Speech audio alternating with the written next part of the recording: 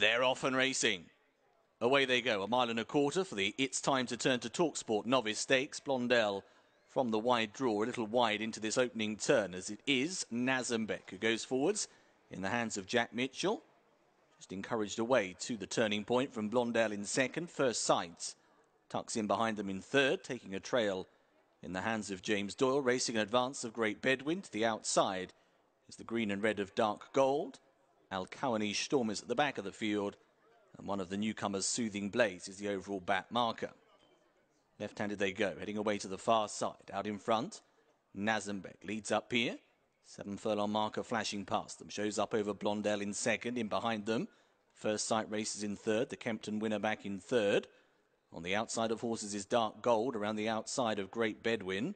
Al Kawani Storm still at the back of the field in company with Soothing Blaze. Blondell just being chivied along to the outside of Nazembek, showing signs of inexperience, but continues to press the leader with first sight in behind them. Having a dream run round through in third at this stage. Back in fourth place is Great Bedwin.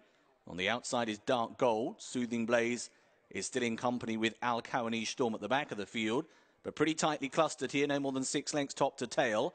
Final half mile in front, and Nazembek is still out in front with a length advantage. Blondell again pushed along to the outside.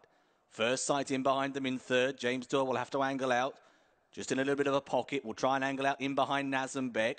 Up in between rivals, trying to get improving now is Great Bedwin. To the outside, pushed along is Dark Gold.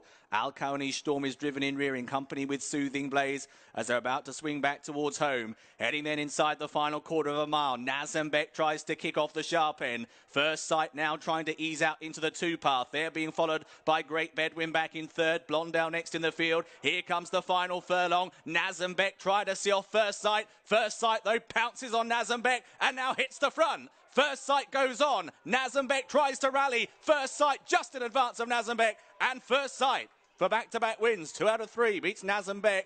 The pair pulling clear of Great Bedwin back in third. And a decent debut from Blondell. Best of the